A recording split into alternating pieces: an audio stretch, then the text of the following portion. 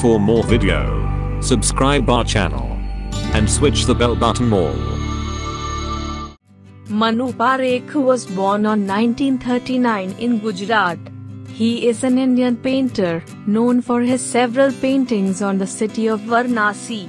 Manu Parekh completed a diploma in drawing and painting from the Sir J. J. School of Art, Mumbai, in 1962. Reported to be influenced by Rabindranath Tagore and Ram Kinker Baij, Parekh is a recipient of the 1982 National Award from the Lalit Kala Akademi.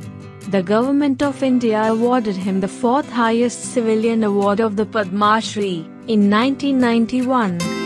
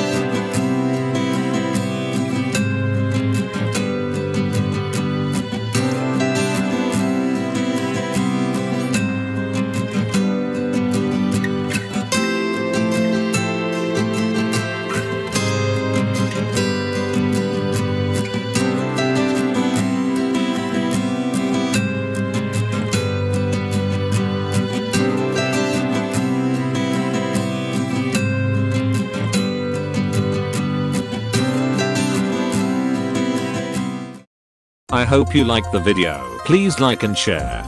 Thank for watching.